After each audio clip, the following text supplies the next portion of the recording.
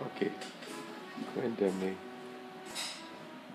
Bueno, te voy a contar cómo fue la experiencia de los gemelos que nacieron a los 26 semanas. Imagínate, uno pesó 750 gramos y el otro pesó 1 kilo 100. Fue una experiencia en realidad bien difícil. Fueron casi 30 días en una incubadora. Las incubadoras son para neonatales, se llaman, ¿no? Eh, es un costo económico y de tensiones y de nervios terrible. Y bueno, a mi hija le hicieron la cesárea, porque obviamente no puede ser un parto natural, porque no es posible, ¿no? Y, el doctor me dijo, eh, voy a tratar de salvar a que sea uno. Entonces yo dije, no, tiene que ser los dos, porque con uno es como que te quitan una pierna, o sea, tienen que ser los dos. ¿no? Y dije, haga lo imposible. Y me dijo, bueno, después cuando ya eh, termine, si, nacen vivos, eh, es un proceso más o menos de mínimo de un mes en las incubadoras especiales.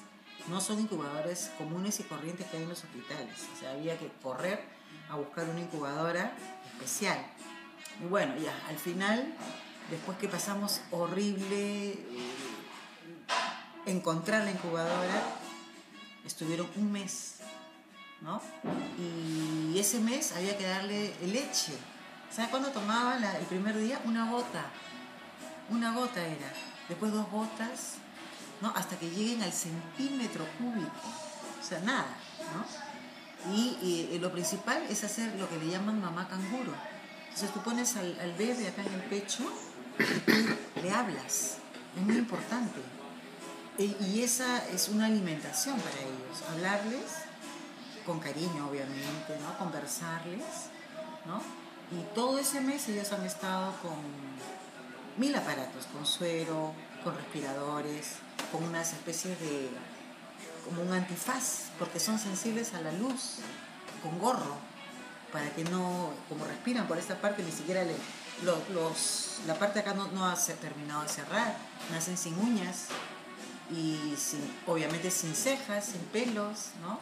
Y, por ahí tengo una foto que esta, en este dedo, en esta uña, sí exacto, entraban sus cuatro deditos acá, como si fuera una ratita, y otro chiquitito, el quinto, ¿no? En este, por eso siempre me acuerdo cuando veo este dedo, que ahí estaban sus manitas. Y bueno, pasó el mes y salieron perfectos, 2 kilos 800, ¿no? Y de ahí terapias, a los 3, 4 meses, terapias con, con piscina, con agua, ¿no? Terapias de, de, caminar como viejitos, bueno, al año fue eso más o menos, a los 8 meses al año, con escaleras para que puedan caminar. Y ahora son dos niños perfectos, tienen ya 12 años, han hecho comerciales, son modelos, son preciosos, son despiertos no han tenido ningún problema físico ni mental y todo está perfecto. Entonces, para el que tenga ahora esa situación, lo principal, aunque digan que, no sé, pero la mente es muy fuerte. Entonces yo me concentraba todos los días y visualizaba que estaban bien y que iban a salir bien y que yo los iba a tener hasta grandes. Y miren, ya han pasado 12 años y están perfectos. ¿Algo más? Sí, sí, unos padres tienen hijos, tú tienes unos, ¿cómo se llama? Consejos. Eh, sí, eh, eh, hay que darle toda la fuerza, ¿no? Y ser positivos, y sí se puede, hay excepciones, hay excepciones eh, que no se puede hacer nada porque eh, en este caso nacieron con soplo al corazón. Entonces puede tener otra cosa sin mucho remedio. Entonces a veces, aunque duela, es mejor no continuar, ¿no? Porque toda la vida sufren ellos y sufres tú. Entonces un poco es quizá el destino, pero hay que ser positivos, ¿no? y el porcentaje es, regular que se salva.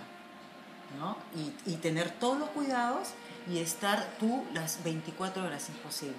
No puedes creer que el doctor o la enfermera lo va a sanar y el consejo creo que el mejor de todos, ¿por qué se mueren esos niños? Es por la infección. Porque los agarra con las manos sucias, porque el piso está sucio, porque el hospital no está...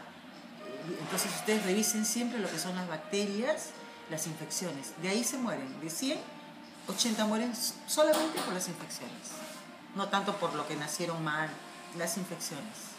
Se revisen todo, la, que se lave bien a la hora de lactar, ¿no? La- los biberones desinfectados, porque son muy, muy delicados con ese tema. Ok, ya, gracias. Ah, fíjense.